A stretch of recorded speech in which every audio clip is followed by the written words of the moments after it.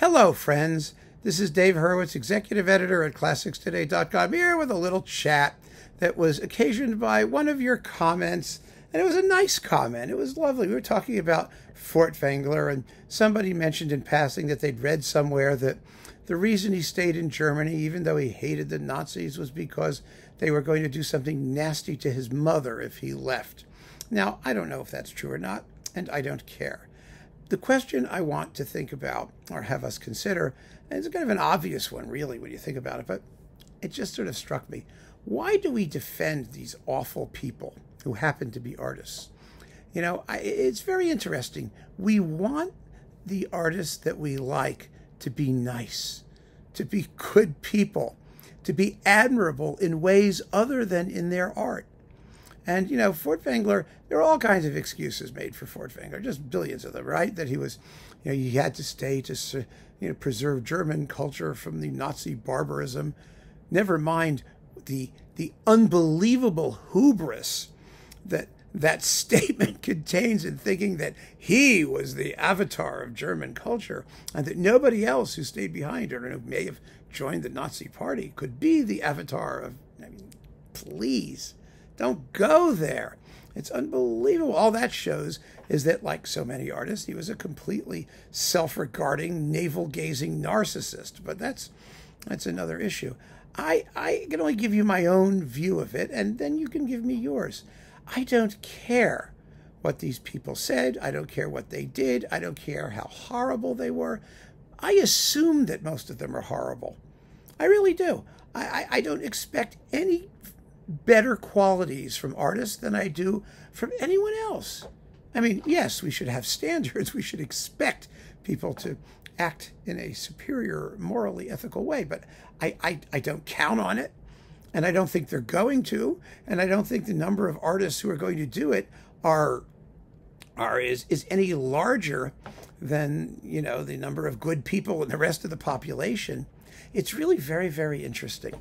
That this whole sort of concept comes down to the idea that there is something, you know, morally or ethically elevated about the arts, especially because so much of it involves sacred music, which is theoretically morally and ethically elevated, although I don't really find that to be true either. But uh, it really is a situ- an interesting thing. You know, Hindemith, you know, wrote a book. I think it was called The Composer's World. I don't know. I had to read it because when I did my master's thesis on Mathis der Maler, I had to read all of his writings, and and he, he he was talking about how he believed, truly believed, in the moral and ethical ability of music to elevate elevate the character of the listener. I mean, he really took that very, very seriously. That's why he never became an atonalist. He thought it was there was something amoral about it or immoral because it did not follow the the laws of nature as expressed by the medieval theorists of the music of the spheres, and that was all very complicated and kind of confused um, intellectually a little bit. Mm, but that was his theory, and lots of people have that theory people have always associated music with moral improvement when women don't participate, for example, and with moral depravity when women do participate. Isn't that nice? Hang on a second, folks. I need to take a swig. Or other things like that. The theater has always been the sinkhole of sin and depravity when music is associated with it. And the church has always been the bastion of, of goodness and decency when secular musical elements are kept out. That's one of the reasons, for example, that Bach tends to get a, a higher rating than Handel. Handel's music is invariably theatrical.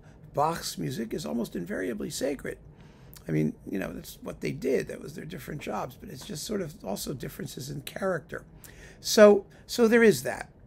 And so, in association with these theories about the moral qualities of music, uh, we have this this personal feeling that we want the artists that we admire to be superior beings because they give us pleasure and they give us this they may make us feel spiritually elevated and you don't want somebody like Jimmy Levine making you feel spiritually elevated while he's running around um, sexually abusing young men uh, or or women or whoever abuses who or Charles Dutoit and women and you know you know all of this sexual stuff that's going on.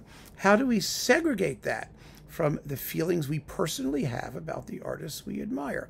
And all I can say, and I just want to make this little point and not belabor it too much, is is people are people. I mean, that's all. And it doesn't matter what you what they do or how, you know, what what kind of superior qualities they arrogate to themselves, which is something artists always do. You know, they they may think they're living on a higher plane. But I think most of them are jerks. Um, most of them are completely uninterested in anything other than their own careers. And the fact of the matter is, I mean, if you look at somebody like Wagner, it was the biggest asshole in all of music and one of the greatest composers. And people still have trouble with that. I don't have any trouble with it at all. All I care about is what they did and if I like the music. Now, if one of them is an, an absolute animal, you know, a serial killer, someone who's just, I, I detest, um, I may wait till they're dead, you know, before I, before I start paying serious attention to their music. Because happily, unless they're completely unique, fabulous, genius composers, of which there are very few of those that you have to put up with, most of these people are doing the same stuff. So there's always, you always have choices. And so my advice to you, and this is, I'm just going to wrap this up. My advice to you in very simple terms is just don't worry. Don't worry at all. If they're assholes, if they're horrid, if they're awful, stick with the music, be happy with that. And if you are profoundly disturbed by defects in their moral character, then listen to somebody else. It's really very, very simple. But don't don't be disappointed because they don't live up to your standards. I mean, they don't have any obligation to do that, and and we don't have any reason to expect that they will, do we? Hmm? You tell me. Keep on listening, friends. Thanks for joining me. Take care.